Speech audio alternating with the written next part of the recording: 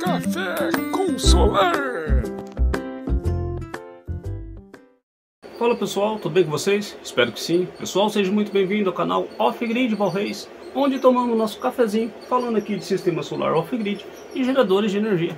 Pessoal, no vídeo de hoje, vou tomar meu cafezinho fazendo as considerações da nossa caixa da Narada, 48 volts.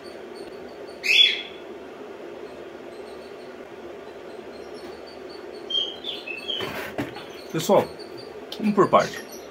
É, no vídeo que eu apresentei, montado aqui a nossa caixa da Narada, já pronta, um inscrito fez uma pergunta, colocou uma, uma, uma pergunta muito interessante. Na verdade, ele só questionou. É de chorar ver uma caixa dessas, baterias dessas, feita em 12 volts, sendo que poderia ser um sistema muito mais eficiente, certo? Hum, depende. O que, que pode ser eficiente para você, tá? Depende muito do, do que significa para você eficiência. O que, que seria eficiência energética? O que, que seria? Seria eu pegar aqui meu sistema, baterias em 12 volts, tá? 13.2, né? A gente fala 12, mas não é, é 13.2. Pegar uma bateria dessa de 13.2, unir fazendo 24 volts para ter um sistema mais eficiente, ou colocar mais 8 células fazendo 48 volts para ser mais eficiente ainda? Pessoal, depende muito de cada casa, tá? Depende muito de cada casa. Vai do projeto que você está fazendo. Um serviço, uma instalação eficiente é aquela que você faz dimensionada para a tua casa. Então, cada casa é uma casa. E eu sempre digo, off-grid, ele é artesanal. Cada um faz o seu de acordo com a necessidade do lar da pessoa.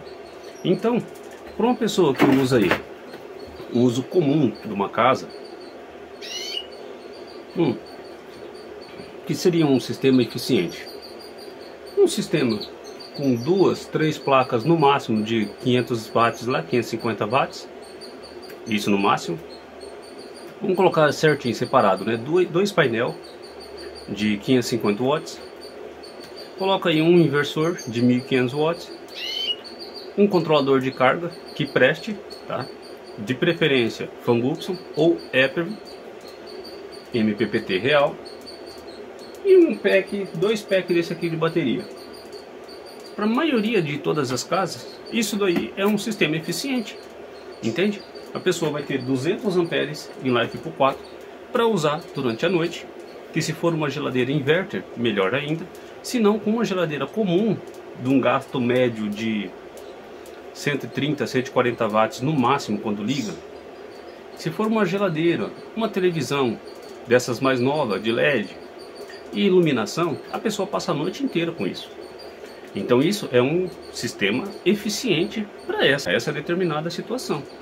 Agora, eu coloquei mais um pack na época para poder ter uma flexibilidade maior de poder usar à vontade à noite esses eletrodomésticos, mais um ventiladorzinho e amanhecer com um pouquinho de carga cada uma. Já estava eficiente meu sistema. Adquirimos as outras baterias para que eu tenha flexibilidade de dias. Então se ficar lá dois dias nublado, fechado, eu não se preocupo com a geração, porque eu tenho armazenamento aqui suficiente para passar esse, esse período aí sem estar carregando. Entende? Agora, o que seria a eficiência? O que seria a eficiência? A maioria sabe só replicar as coisas. Eles não sabem testar na prática. Então eles sabem só replicar. Se você pegar aqui, ó, esse aqui tem um pack, está em 12 volts. Tá? Vocês olhando aí parece 24, né? Mas não é, está em 12. Tá? Em cada duas células está ligado em paralelo. Se você pegar esse pack aqui, ó, pega esse pack aqui, certo? Você vai colocar em, em watts como está em 200, eu vou ter em torno de 2.000, 2.100 watts para aqui, de uso, para mim usar. É, se fosse em 24 volts, eu não teria os 2.000 e pouco watts de uso, ou teria? Faz as contas. Ah, eu teria né, a mesma coisa. Não, eu teria a mesma coisa, olha que impressionante. Então qual seria a eficiência energética mais, com um Life por 4, sendo que se eu deixar elas tanto em paralelo, igual tá as células, quanto se eu ligar uma série e fazer em 24 volts, se a potência final é a mesma. Ah, mas está gastando muita amperagem. Pera lá, pera lá. O recomendado para qualquer uma dessas células que eu indico, tá? É no máximo um terço de C. Ah, mas pode drenar em um C, que essa daí tá escrito que pode. Tá bom, tá escrito que pode. Vai lá e drena a sua. Todos os dias. Pode drenar à vontade. Eu prefiro manter uma regra, drenar no máximo um terço de C por, por pack, tá? E ter uma longevidade, beleza? Então o que que acontece? Você pega lá 100 amperes, divide por 3, vai dar 33. Ponto 33, ponto alguma coisa. Se você pegar 33 amperes dessa daqui, para você drenar de um pack desse aqui, de um pack, eu vou ter ali seus... Vamos fazer a conta? Feito isso, imagina aí. Se agora eu não posso mais drenar, porque eu estou com um pack só aqui, estou drenando 33. E se eu usar aqui em 8 série? Uma série aqui, feita às 8, em 24 volts. Um terço também daria 33, certo? Daria 33. Se eu estiver usando 33 amperes aqui em 24 volts, daria o dobro, certo? Certo. Só que se eu usar 33 amperes de um pack aqui com 4 unidades e a outra vai fornecer também 33 amperes, eu vou estar puxando 66 amperes, certo? Se o inversor for um inversor bom, que seja projetado para isso, qual que é a diferença? Sendo que as baterias, essa fornece 33 e essa fornece 33 amperes, dá 66. Se agora eu quiser usar ela em 24 volts, as, do, as 8 aqui juntas vai fornecer 33. Só que o resultado da potência é o mesmo, eu não vou poder usar mais equipamento ou menos equipamento. Porque o que vai demandar é o meu inversor, se ele foi projetado para aguentar puxar em 12 ou não. Por isso que eu sempre indico você comprar um inversor de marca boa, que realmente preste, porém que já seja um pouco a mais do que o seu limite. Se você quer usar mil watts por dia, você não vai comprar, e por dia que eu estou falando é por hora, né? Você não vai comprar um de 1500 watts para você ficar com 500 watts ali só de folga. Você compra um de 3000. Aí que o meu é de 3000. Eu nem uso 1000 watts por hora. Uma hora ou outra liga lá 1000, 1500, 1600 watts, 1800, beirando 2000, mas é por uma hora só. Depois volta lá 300 watts, 400, 550, volta para 300, para 200. Na parte de noite vai lá 200, 250 watts gastando por hora. Ou seja, você não força o teu sistema e você não tem um sistema menos eficiente. O teu sistema é totalmente eficiente para o que foi planejado, entende? Então você que está chegando agora, e fica com essas dúvidas. Tem essas dúvidas assim, nossa, mas o 12 é porque é um sistema fraquinho. Não, depende do projeto que você fez. Eu peguei uma caixa narada de 48 volts, tá? 100 amperes de Life por 4, desmontei, transformei ela em 12 volts, tá? Na verdade em 13.2, de 400 amperes.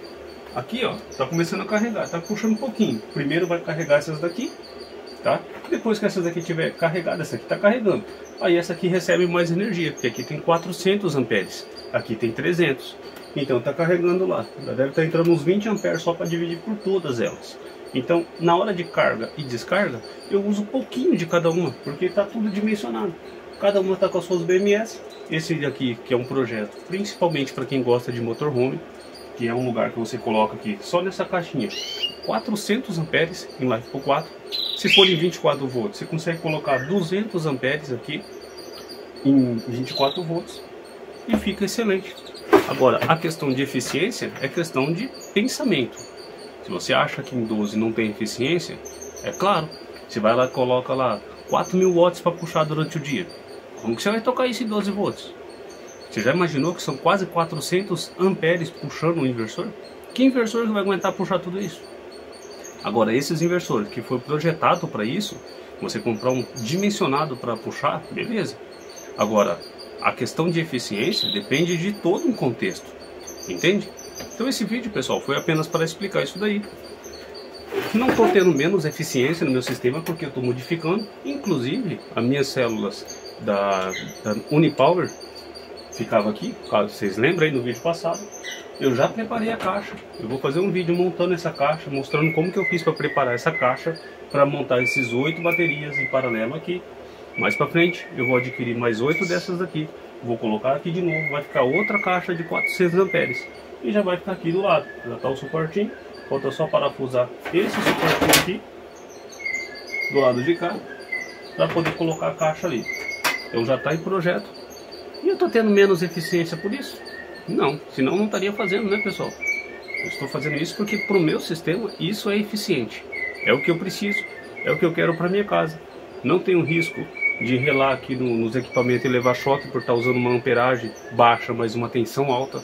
Aqui eu tenho bastante amperagem, mas com tensão baixa. Posso relar a mão nos dois ali que não vai me dar choque, não vai acontecer nada. E a questão é, planeja, porque o off-grid é artesanal. Cada um vai fazer de acordo com o que precisa. Beleza? Fiquem todos com Deus. Deus abençoe.